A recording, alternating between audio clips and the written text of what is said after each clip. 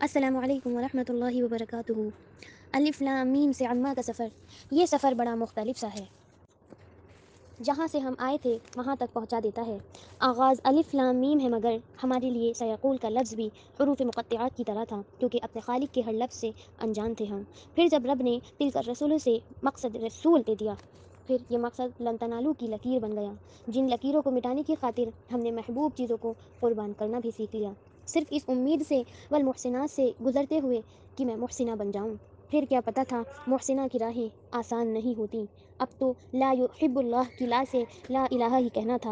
اس موڑ پر دل بڑا ہارا ہوا سا تھا کہ وَإِذَا سَمِعُوا کے آغاز میں کلام اللہ نے رلا ڈالا۔ اگلے ہی دن وَلَوْ أَنَّنَا میں شیطان کے دھوکے سے دل مائل ہوتے ہوئے دیکھا۔ پھر قال الملأ میں بادشاہوں کی جہالت گزری تو وعلموا میں غنیمت کی بات اللہ نے کر ڈالا۔ پھر ان کی جہالت کی انتہا یعتذرون میں جھوٹے عذروں سے پھر جھلکی۔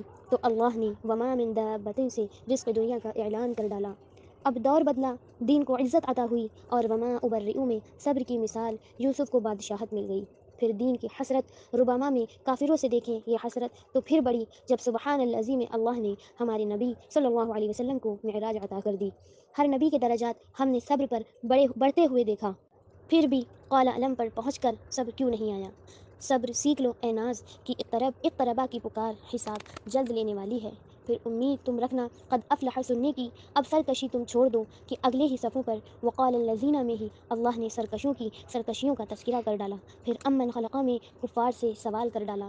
کفار نہیں مانتے کہ ہم رب کی ہی خلقت میں ہیں۔ پھر ہم نے اتل ما اوحیا میں سجدوں میں اپنے خالق کو ہی پایا۔ پھر خالق نے وما یقنت کہہ کر ہمیں قنوت بخش ڈالا۔ تو ہم نے بھی ومالی کہہ کر عبادت کرنے کی عظیم عزم لے لی۔ یہ عزم جھوٹ نہ ہو، اس لیے فمن اظلم میں رب نے جھوٹوں کو ظالم بتا ڈالا اور ظالموں کو الیہ یرد میں قیامت کے دن لوٹنا بتا ڈالا۔ اب حامیم نے پھر ہمیں کمزور کر ڈالا تو رب نے تسلی کے لیے قال فما خطبکم میں ابراہیم کو بشارت اولاد بخش ڈالا، جس کی وجہ سے قد سمع اللہ میں معلوم ہوا کہ اللہ ہر کسی کی باوقت سنتا ہے۔ تسلی اور خوشی کی انتہا کچھ اس طرح بھڑکی کہ رب کی بڑائی تبارک الذی میں خوب ہم خوب ہم نے کی۔ رب کی ہی صرف حمد ہے اور اسی کے لیے ہر علم۔ ہم تو بڑے حقیر ہیں جو عمہ پڑھ کر بھی نہ آیا حلم۔ کیا خوب ہے الف لام میم سے عمہ کا یہ سفر۔ ایک طرف خوف ہے اور ایک طرف امید۔ نہ جانے کیسا ہے یہ ایما کا سفر۔ کر دے مردہ دل کو زندہ یہ ایما کا سفر۔